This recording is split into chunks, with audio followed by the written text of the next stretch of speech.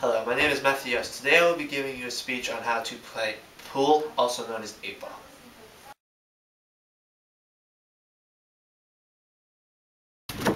The objective of the game 8-ball is a call shot game played with a cue ball and 15 objective balls, numbered 1 through 15. One player must pocket um, the balls grouped numbered 1 through 7 colors that are solid, while the other player has 9 through 15 which are striped colored.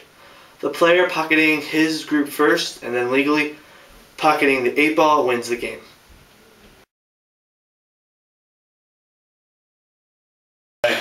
I'm going to explain how to set up your break shot now. This is your cue ball. You are going to line your cue ball up on the head string, which is this imaginary line here. It can be placed anywhere on this imaginary line. This is your mid string, which serves no purpose in the break. Your pool balls need to be lined up with the foot string and the long string. The tip of the ball needs to be lined up in the mid um, along this uh, line right here. The foot, uh, the I'm sorry, the yeah, the foot string, and then the center of the ball needs to be lined up with the long string. A more advanced rule for the game is that from that position, on the left side you need a solid ball on the, in the rack where you set up your pool balls, and on the right side you need a, a, a straight ball. And then in the middle is your eight ball, and then all the other positioning of the balls do not matter. After your break shot, if you get one of your pool balls in, you get to go another turn. And if you get another one in after that, you get to keep going for as many turns as you hit your pool balls in. If you do not hit a pool ball in on your break shot, then it is the other player's turn. And if he doesn't hit a pull ball, one of his pull balls in that turn, it is now your turn again. Thus, you alternate turns back and forth until one player hits all of their pull balls in and then the eight ball.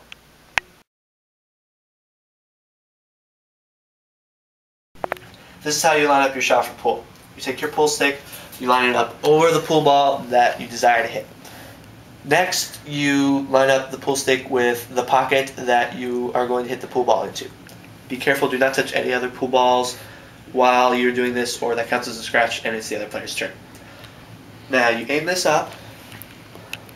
Now the point you want to hit on the pool ball is basically the point that leads straight to the pocket. Next, you line up your cue ball with the point on the uh, pool ball that you're going to hit into the pocket. And then you hit it in.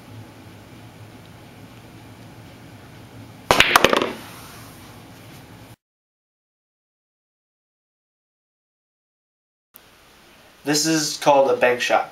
You have two pool balls in the way of your pool ball that you want to hit, and you have no other options to go to.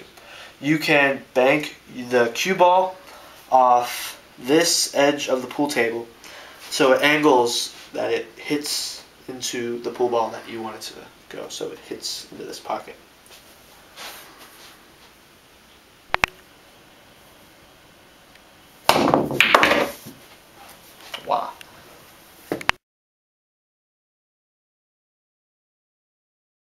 I'm now going to explain scratching. Scratching is basically when you hit the cue ball into a pocket. Basically, if you miss the pool ball that you're aiming for and you hit the cue ball into a pocket, that's called a scratch. Your opponent now gets the cue ball.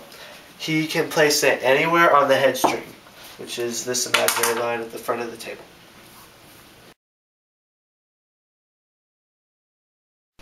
Going to explain general 8 ball rules. If you hit the 8 ball in before you have all your pool balls in, then you lose you are allowed to have you're allowed to hit the eight ball with your cue ball just as long as it doesn't go into any pockets. Thank you for your time today. I hope you enjoyed my tutorial on how to play pool. Have a nice day.